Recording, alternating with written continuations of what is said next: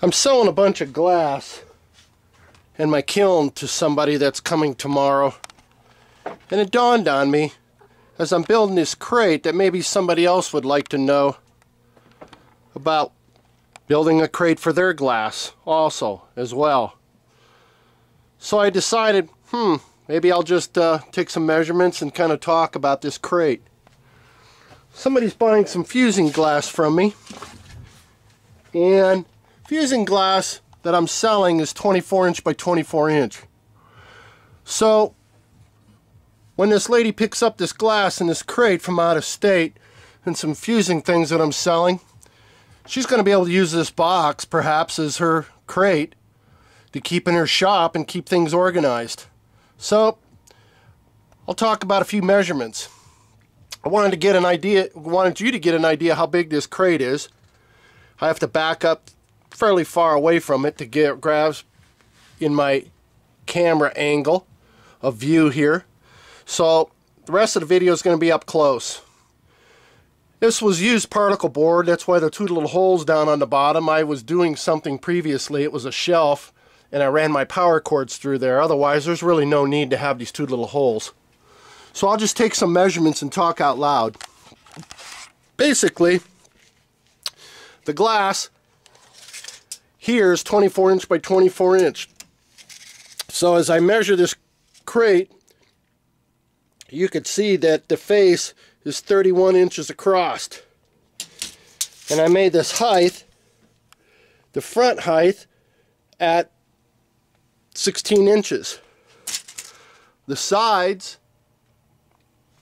here are eight and a half inches. I use the same thing on the bottom, eight and a half inches underneath here. And the back side is 30 inches. And it's 25 inches tall. So this glass is going to fit in there quite nicely. And the reason I built it a little bit wider than the glass is so that you can reach in there and grab your glass from the sides, either side. And I wanted to have an open front so that you can go in there and easily grab your glass. But yet, it's only nine, eight and a half inches wide, so it can slip underneath your bench or off to the side quite easily. And it's going to be able to hold a lot of glass. I don't know how many 24 by 24 inch sheets it'll hold exactly. Bet, bet a sheet being only an eighth of an inch thickness, it could hold quite a few. And when you have shorter half sheets, you can stick the pieces in there and still be able to get them instead of reaching down in a crate where the front is as high as the back. That means you could get cut, scratched, nicked your skin, in other words, quite easily. But by having this front cut away like that, allows you to see the glass that you're grabbing. So it's going to be really nice for this lady. I cut two, some two 2x4s to make feet. And these 2x4s are 14 inches. And what I did is I just measured the lines here and here and I stuck one at one end and what I'll do is I'll stick the other one at the other end. I'm doing this video with one hand with camera in one hand and I can't quite reach the six feet away that I am right now to take in this view. So I'm not going to be able to show you uh, uh, lifting this up. I need a third hand. so in other words, this is going to go there. And I'm going to lift this up. And I'm going to screw this in from the bottom. And from the inside, I'll screw this board onto here in the same location like as this one. I'll put the screws in the inside. That way this crate's not going to be able to rock it's going to have some pretty good stability. So it's not going to rock. So she'll have a nice little crate when she picks up her glass tomorrow that she might, uh, more than likely, she'll just keep this crate around and it'll be quite handy and you can build off of. So hopefully you got all the measurements. It's quite easy. I'll take them again. The side, the sides are 8 inches by 20 inches tall. So both sides would be that same measurement. The face overlaps this side here. The face is 31 and a quarter.